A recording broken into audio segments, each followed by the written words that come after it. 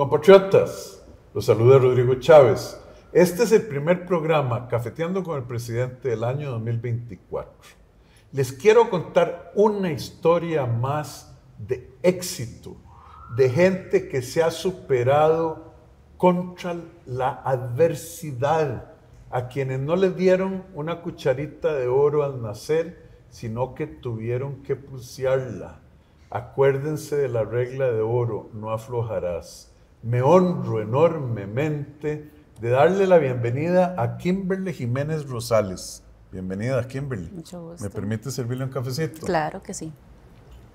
Doña Kimberly tiene una historia de vida interesantísima.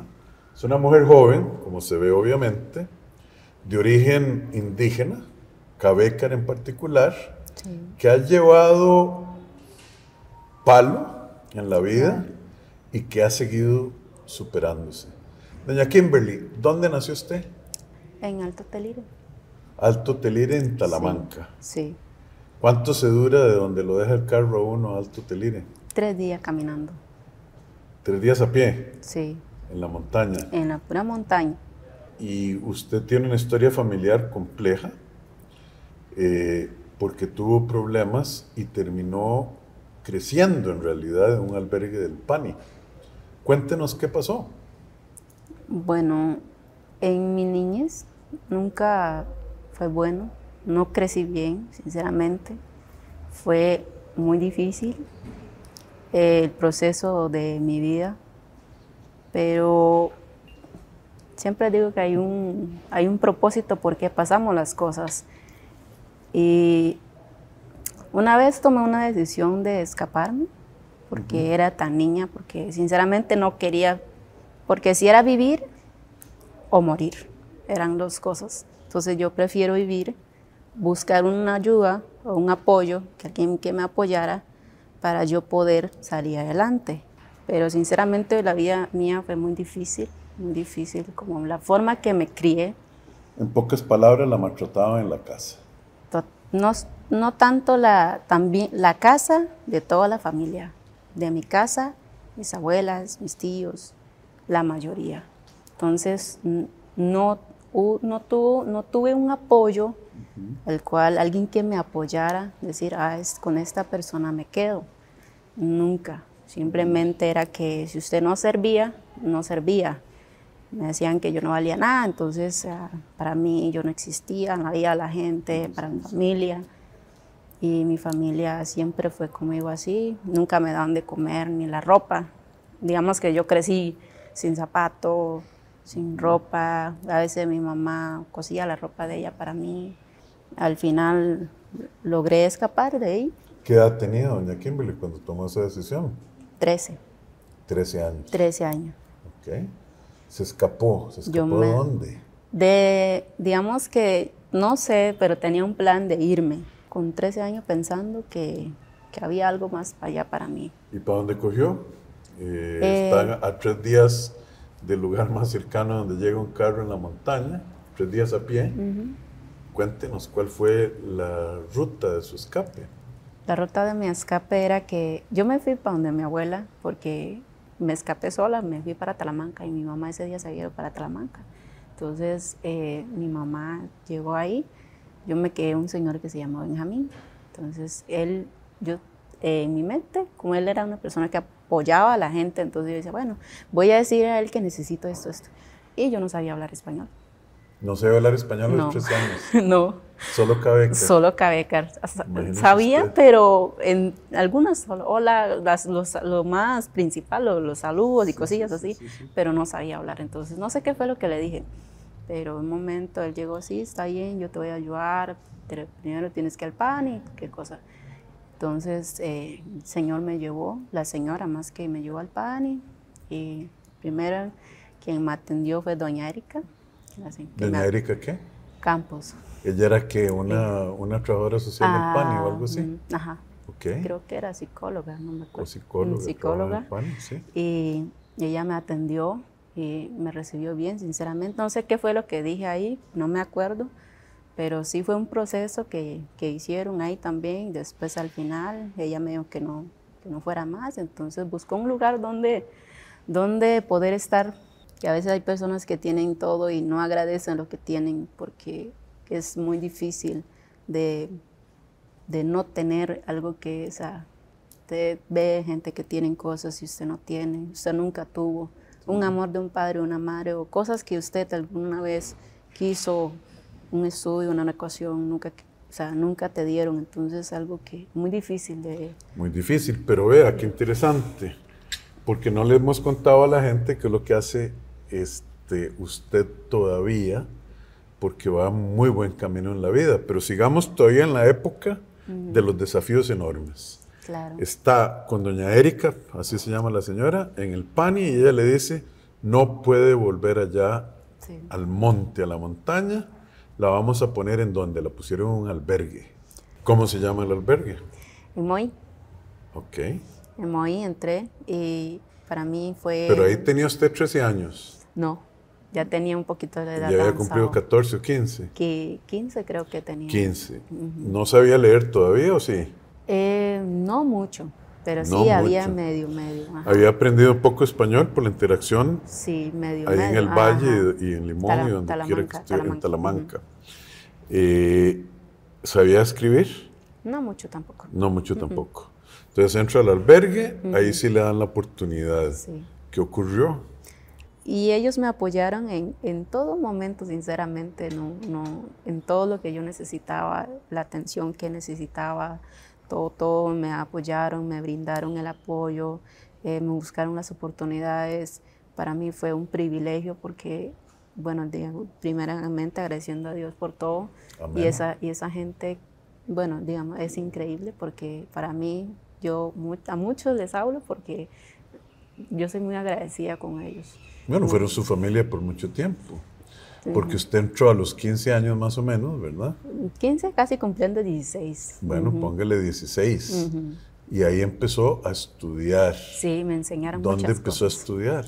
Ya cuando entré, me, matricularon en la escuela de ahí. ¿De dónde? Dígale a la gente. En Atilia Matafreses. Entonces ahí en Atilia Matafreses es la escuela. ¿Y el, poblado, el lugar? Eh, Cocos.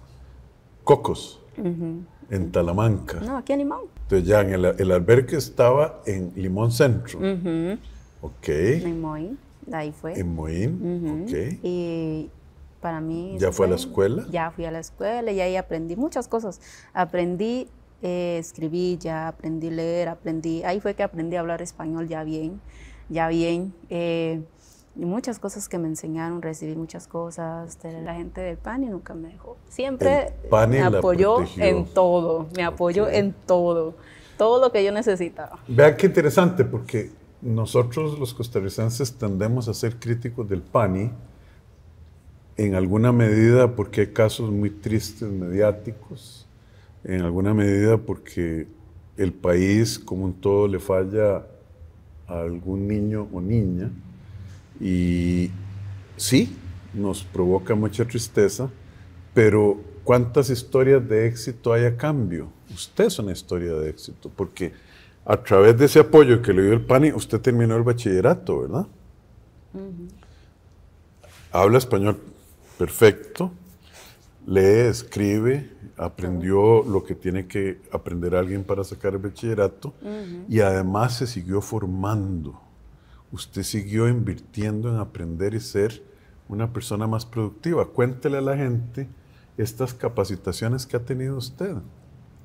Recibió muchas capacitaciones eh, a través de muchos, porque era como que yo, yo como la, el estrés y la ansiedad que yo tenía era como poder estudiar, poder, poder aprender más allá. Esa, era, es, o sea, esa, esa es mi mente. Entonces, como que, como que en ese momento no sabían qué era lo que me pasaba, entonces no podía buscarme qué era lo que me pasaba. Entonces ya cuando empezaron a buscar, entonces ya yo empecé a enfocarme, enfocarme, entonces ellos empezaron a buscarme los cursos, bueno, estudié en oficinista, estudié en, en computación, estudié en, en, muchas cosas, en habilidades blandas, eh, muchos los que me brindaron ahí mismo en el albergue, lo que son como hacer cosas, a manualidades, eh, recibías también terapias, entonces como que ya me, como que me iba entrando en muchas cosas, entonces ya como que me enfoqué.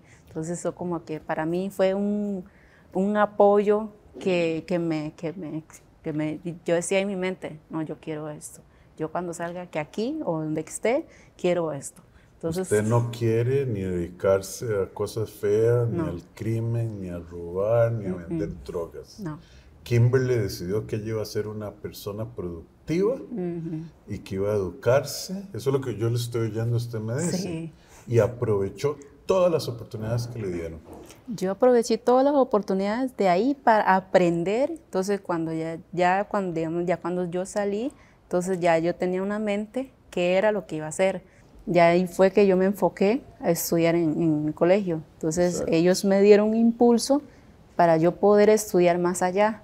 Entonces, ya cuando yo salí, yo, yo todavía tenía cursos que terminar. Ajá. Me dieron con un beca completa, que, que era que, creo que era el oficinista que me dieron muchos, son seis meses que me, que me habían dado. Entonces, fue una oportunidad grande que yo aproveché. ¿Saben qué es lo más bello? No solo no aflojó, onceavo mandamiento, no aflojarás. Una mujer joven, es más, yo voy a cometer una indiscreción, usted tiene 22 años, ¿verdad? Que no aflojó, sino que además ahora ella se dedica a educar a los niños donde ella nació. Cuéntenos cómo llegó usted a convertirse en maestra en Alto Telire. Siete chiquitos tiene, ¿verdad? Sí, siete chiquitos. Cuéntenos cómo llegó ahí. Bueno, digamos que me dieron una oportunidad, porque era una oportunidad y estoy agradecida también, porque eh, yo quería trabajar, yo quería hacer alguien, yo Sí. quería estudiar, pero quería trabajar a la vez. Entonces yo soy como que el- me gusta, ah, ¿cómo te digo? Me gusta mantenerme en la mente ocupada. Soy muy enfocada a lo que quiero. Mm, Si quiero esto, quiero esto. Entonces yo quería trabajar y estudiar. Estoy dando lo que, lo que, lo que ellos necesitan allá, eh, apoyando. Siempre quiero que esos niños sean futuros, esos niños aprendan. Siempre me gusta ver una persona triunfar. Pero entonces tiene siete niños Ajá. de preescolar. ¿De Sí. qué edad, qué edad? De 4 a 5. De 4 o 5 años en Alto Telire, donde ella nació, donde no le enseñaron español, donde no le enseñaron a leer y escribir, y hoy ella está cambiando la historia de otros gracias a que ella aprovechó cada oportunidad que le apareció. Pero yo quiero que ustedes sepan el sacrificio de ella. De Alto Telire a La Guaria, que es donde llega el carro, ¿verdad? Sí, no, Alto ¿Cuántos Coen. días? Alto en. Alto Coen.